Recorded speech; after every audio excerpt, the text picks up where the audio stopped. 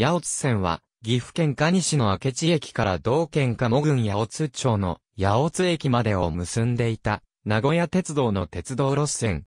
かつて、八百津支線と称していた時期があり、八百津支線と呼称される場合は、広見線の支線として扱われた。運賃計算区分は C。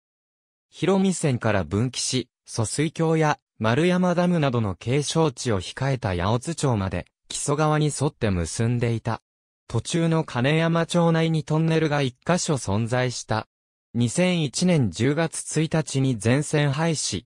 同日に、同じ名鉄の谷組線、伊比線黒野駅本伊比駅間、竹花線江平駅大須駅間が廃止されている。1984年に、富士重工のレールバスの試運転が行われ、名鉄が換算区間合理化のためこれを採用。同年八百津線は、電気運転を廃止して、レールバス運転に切り替え、その直後から架線などの電化設備は撤去された。レールバス化当初はキハ10型を使用し、1995年より、廃止時まではキハ30型を使用していたが、八百津線廃止後キハ30型は、三河線の非電化区間へ移籍した。しかし、こちらも廃止になったことにより、名鉄から非電化路線はなくなり、車両はミャンマーへ輸出された。その後、2006年に新蟹駅構内のレールバス専用の検車場が撤去された。廃止時点では、全列車レールバスによる運行で、八百津線内折り返し運転されていた。ただし、給油基地が、広見線新蟹駅構内の新蟹検車場にあったため、昼間の一往復のみ新蟹駅まで直通していた。すべて、普通列車のワンマン運転で、明智青津間で30分間隔で、毎時に往復、11から12時台は60分間隔で、毎時1往復運転されていた。ただし、廃線間際には、臨時列車が数往復増発されて、毎時に往復運転されていた。廃止時点では全列車が各駅に停車していたが、電化時代には県山口駅と中野駅を通過する普通列車が存在した。単線であるが、廃止時点では、金山駅などにあった交換設備はすべて廃止されており、列車の行き違いは行われていなかった。1984年までは電化されており、犬山線との直通運転列車があった時期もある。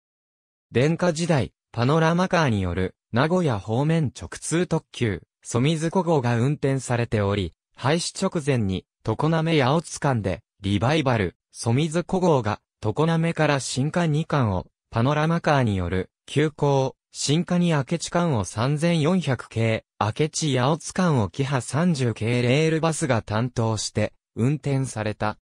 以下の駅は、すべて1944年に休止となり、1969年4月5日に廃止されている。駅名は1969年4月5日当時のもので、伏見口駅は現在の明智駅。名古屋鉄道写真名古屋鉄道、1961年696ページ。A 新 B000 ジャムク4。名古屋鉄道写真名古屋鉄道、1961年697ページ。A 新 B000 ジャムク4。ABCD 徳田光一、名鉄の廃線を歩く JTB パブリッシング、2001年、P34、徳田光一、名鉄の廃線を歩く JTB パブリッシング、2001年、ピアニッシモ、170から171、ハット ABCD 徳田光一、名鉄の廃線を歩く JTB パブリッシング、2001年、P33ABCDE 運輸省鉄道局、監修、鉄道要覧平成9年度版、電気車研究会、鉄道図書観光会、P124、ABCDEFG 今尾圭介監修、日本鉄道旅行地図帳7号東海、新庁舎、2008年、P50AB。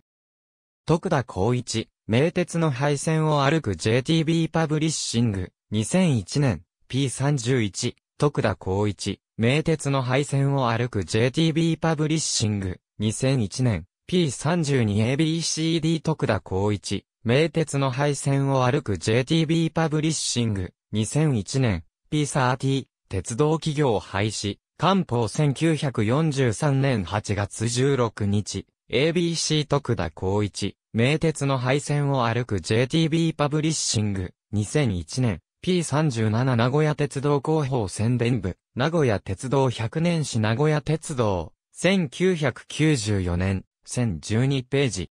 徳田光一、名鉄の廃線を歩く JTB パブリッシング、2001年、P170。ありがとうございます。